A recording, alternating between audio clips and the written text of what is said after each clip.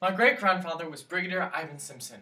He was born in India in 1890 and commissioned into the Royal Engineers in the UK in 1910. He served in France from 1914 to 1918 during the First World War and was wounded.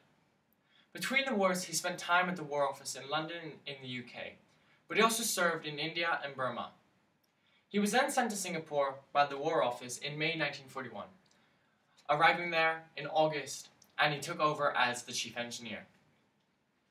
He was one of the leading officers at the time um, of the surrender to the Japanese in February 1942.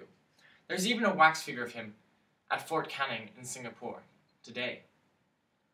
After the surrender, he then spent three and a half years in a Japanese prisoner of war camp. After the war, my grandfather wrote a book called A Little Too Late. I have it here. This book is about his experiences and the mistakes made in the defense of Singapore. The official history of the war admits to only some of the uh, errors made. And one of the issues was that when, when he was sent to Singapore, his superiors said to him that his main, his main goal was to build defenses. However, his superiors didn't give him written confirmation of this, so he was unable to do, so it was impossible for him to do anything. So the landward side of Singapore was left virtually defenseless. He tried to convince the commanding officer, Percival, during the 10 week campaign against the Japanese, but he refused to listen, and according to my great grandfather, this is the main reason that Singapore fell to the Japanese. My grandfather on my mother's side, Nicolaas van Dijkhuizen, was a 10 year old boy um, when the Second World War broke out in 1939. His family lived in Den Haag, The Hague in the Netherlands, and his father owned um, a, a well known superma- supermarket. And after the Germans came and occupied the Netherlands, most of the Dutch men were sent to Germany to, to work in the factories.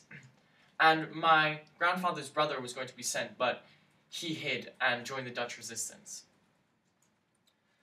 Because of the shortage of labor, my grandfather had to help out in the supermarket and he had to deliver food to different areas.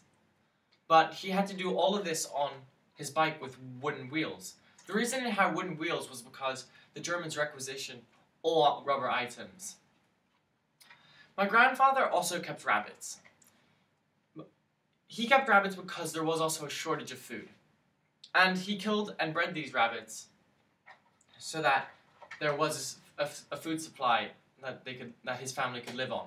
or that our family could live on. But and he told me one day that one reason he never grew very tall was because since there wasn't a lot of food growing going around, he he didn't have enough food during the, the, the stages that people that boys usually grow at. After the war, my grandfather joined the Dutch army and was sent to Indonesia to fight in the Indonesian War of Independence. He was 17, but after a year of fighting, he was promoted to a lieutenant. He remembers leading, he, he said to me one day, he remembers leading his men into the jungle where someone threw a grenade. Luckily, he wasn't injured, but he did lose some of his hearing. Well, most of his hearing, yeah. Um, but when he came back to the Netherlands, the army said to him, um, well, suggested to him that he should become an engineer, which he did.